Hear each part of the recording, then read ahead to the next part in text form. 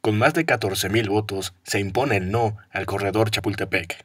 En una jornada histórica donde se define no solamente el futuro del corredor, sino que se puede interpretar como una especie de plebiscito o una evaluación de mandato de Mancera y de Ricardo Monreal, este día se llevó a cabo una jornada histórica para decidir la construcción del corredor Chapultepec, que se decía que era cultural.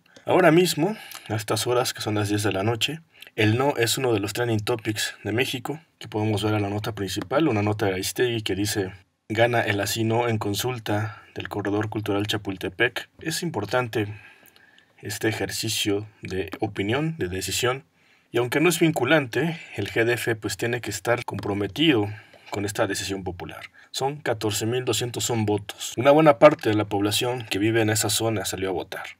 Y a pesar de la denuncia de acarreados, ¿no? por ejemplo, Martí Batres denunciaba que iba a haber movilización de acarreados por parte del GDF y algunos usuarios pues denunciaron que había vendedores ambulantes votando. A pesar de todo ello, la voluntad ciudadana se ha expresado y es un rotundo no.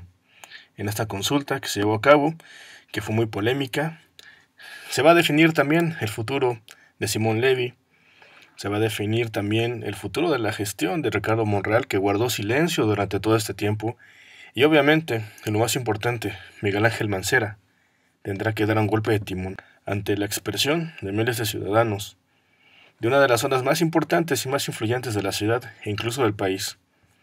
Gana el no por más de 14.000 votos.